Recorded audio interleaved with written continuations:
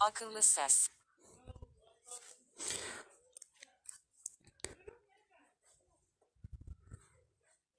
Bildirim gölge. Apoversoft ekran kaydedici. Kaydediyor.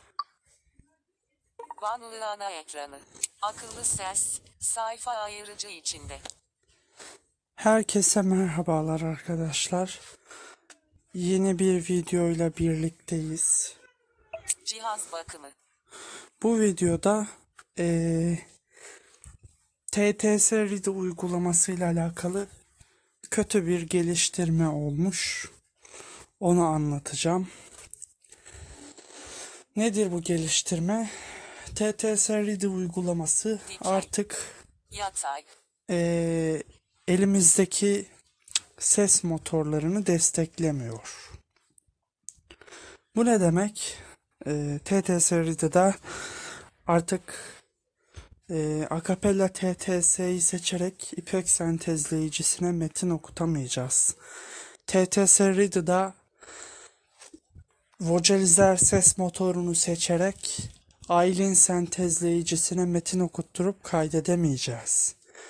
TTS Reader'da Vocalizer metin okuma seslerini seçip Cem ve Yelda ses versiyonlarına metin okutturup kaydedemeyeceğiz. TTS Reader hatta modifiye edilmiş olan Google Metin konuşma motorunu bile desteklemiyor artık. Ee, desteklediği sadece iki tane ses motor var. Birisi zaten Samsung Metin'den konuşmaya motoru ki ee, akıllı saat uygu, uygulaması ve akıllı saate sahip olmayan ee, hiç kimsenin ee, hiçbir işine yaramayan bir program oldu artık. Diğeri de Google Metin konuşma motoru ama modifiye edilmiş olanı değil normal hali. O da biraz sıkıntılı bir program. O yüzden ben biraz bekleyeceğim şahsen. Ee, herhangi bir geliştirme olur mu, olmaz mı? Ee, uygulamanın geliştiricisi bunu düzeltir mi, düzeltmez mi bilmiyorum ama bekleyeceğim. Ee, eğer düzeltmezse ki büyük ihtimalle içimden bir ses onu düzeltmeyeceğini söylüyor. Uygulamayı silerim. İşin teorik kısmıyla sizi fazla sıkmak istemiyorum. O yüzden eee, uygulamaya geçeceğim şimdi. TTS ses. Play Store ses dönüştürücü. Galaxy Store ses kaydedici. APK Jumbo Netflix. Telefon. Mesajlar. Kamera. Galeri. Saat. İmti. Kişiler. Ayarlar. Takvim. Hava. Hesap makinesi. Samsung Notes. Cihaz bakımı. Diğer seçenekler. Düğme. WhatsApp app, indirme hızlandırıcısı, dosyaları, e-posta, radyo, cipime, mail, Google, haritalar, videolar, YouTube, ZRC, TT seride, Evet, açıyorum programı. TT seride, Open Navigation Driver, düğme, sayfa ayırıcı dışında. Ayrıca uygulamanın koyu tema özelliği de bozulmuş durumda. Koyu tema ile alakalı şöyle bir saçmalık var. Göstereyim onu ben. Menüsü. TT seride, Browse Saved Files, Download Languages, Timci olur. Heh, şimdi TT seride, yukarı git, düğme. tema rengi. Bu e, üst üst taraftaki görenler için söylüyorum. Bar çubuğu kırmızı olurdu. Ortadaki ana renk siyah olurdu. Ama artık öyle yapamıyoruz. Burada neyi seçersek e, bar çubuğu o hale geliyor. Kırmızı düğme. Pem mor. TT timci. Mavi. dü- TT seride. Yukarı git. Düğme. Böyle 450. Yukarı git. bir saçmalık Oluşmuş durumda. Şimdi eee, burada metin seçimi yapmaya pardon metin seçimi diyorum. Eee, sentezleyici seçimi yapmaya çalışacağım ve sadece Samsung Metin'den konuşmaya motorunu ve Google Metin konuşma motorunu gösterecek.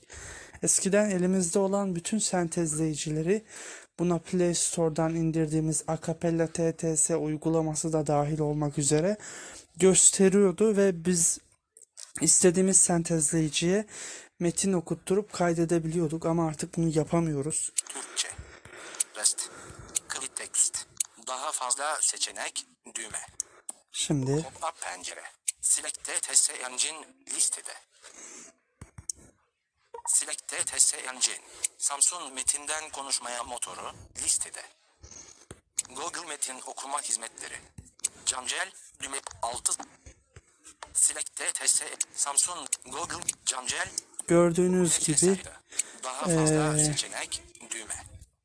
artık eee, elimizde var olan başka sentezleyicileri seçip kullanamayacağız. Eee, uygulamayla alakalı eee, yapılacak Microsoft ekran kaydedici gelişmiş. 631 ana sayfa ana sayfa Uygulamayla alakalı, sayfa eee, 2 3 sayfa yapılacak eee, yorum ve mm, söylenecek sözler bence bu kadar. TTSR'de uygulaması kötü olmuş yani bayağı bir kötü olmuş. Eee, bunun gibi bir uygulama yoktu mesela Play Store'da. Yani istediğimiz sentezleyiciye seçip metin okutturup MP3 dosyasına kaydetme özelliği bunu Play Store'daki hiçbir uygulama sağlamıyordu. Sadece en güzel uygulama buydu ve bu program sağlıyordu bize bu ayrıcalığı. O da eee, artık berbat olmuş durumda. Dediğim gibi eee, bekleyeceğim.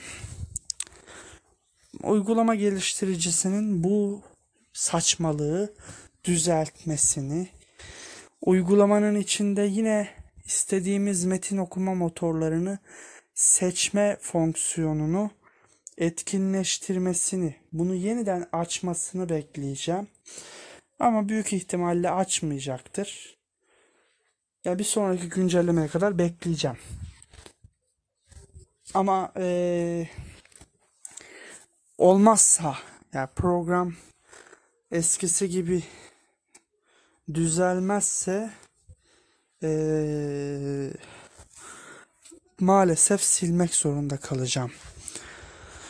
Ya bu programlara da ne oluyor ben anlamıyorum. Eee, önce Samsung Metin'den konuşmaya motoru. Şimdi de TTS'li uygulaması. Yani nedir bu değişim? Nedir bu kısıtlama? Eee, bu böyle kırpma, kesme, biçme sevdası, bu kısıtlama sevdası nereden geliyor bu uygulama geliştiricilerine bilmiyorum ama eee, elimizdeki sentezleyiciler değil ama sentezleyicilerle beraber kullandığımız ek yazılımlar sapıtmaya başladı. Elimizdeki sentezleyicilerden sapıtan iki sentezleyici var sadece. Biri Google Metin konuşma motoru ki ben o yüzden modifiye edilmiş versiyonunu kullanıyorum. Diğeri de Samsung Metin'den konuşmaya motoru. Bu kısıtlama arz, arzusu, bu kısıtlama sevdası nereden çıktı, nereden geliyor bilmiyorum ama son zamanlarda eee sentezleyicilerimizle beraber kullandığımız araçlar nedense sapıtmaya başladı. Bugünkü içeriğimiz de bu kadardı arkadaşlar. Her şeyin gönlünüzce olmasını dilerim. Hoşça ve sevgiyle kalın. Bu arada bu videonun başlangıcına, ortasına ve sonuna eee, kartlar yerleştireceğim. Ee, yapabilirsem NVDA videolarında olduğu gibi sağa ve sola ekranda videonun sonunda görünecek olan başka içerikler ekleyeceğim o içeriklere gidebilmeniz, başka içeriklere göz atabilmeniz için ama o olmazsa onu yapamazsam eee, kart eklerim videonun başına, ortasına ve sonuna çeşitli içeriklerin gösterildiği kartlar eklerim. Bu videoyu izlerken ya da bu videoyu izledikten sonra o diğer içeriklere göz atabilir ve onları da e, izleyebilirsiniz. Ama e, dediğim gibi eğer ben bu videonun sonuna bitiş ekranı ekleyebilirsem yani nedir bitiş ekranı? İşte videonun sonunda ekranda belirecek olan başka videolar olur sizin izleyebilmeniz için. Onu yapabilirsem o bitiş ekranını ekleyebilirsem sağda veya solda bulunan içeriklerden birine giderek yine kanalımı izleyebilirsiniz. Videomu beğenmeyi, paylaşmayı, yorum yapmayı ve kanala abone olmayı unutmayın. Yapmaya mecbur değilsiniz ama dilerseniz kanalımı başka arkadaşlarınızla ve dostlarınızla paylaşarak onların da yararlanmasını sağlayabilirsiniz. Benim tek amaçladığım şey abone kazanmak değil tabi. Abone kazanmak da eee, güzel bir olgu benim için ama benim amaçladığım tek şey abone kazanmak değil, insanlara yardımcı olmak. O yüzden dediğim gibi yapma zorunluluğunuz yok, yapmaya mecbur değilsiniz. Ama bu kanalı ve bu kanalda bulunan içerikleri tanıdığınız diğer insanlarla paylaşırsanız başka insanların da işine yaramış olur bu kanal. Ben de sevinirim, memnun olurum. Daha fazla insana yardımcı olabildiğim için. Sayfa Apoversoft ekran kaydedici. Dikey. Sayfa 3 durdur.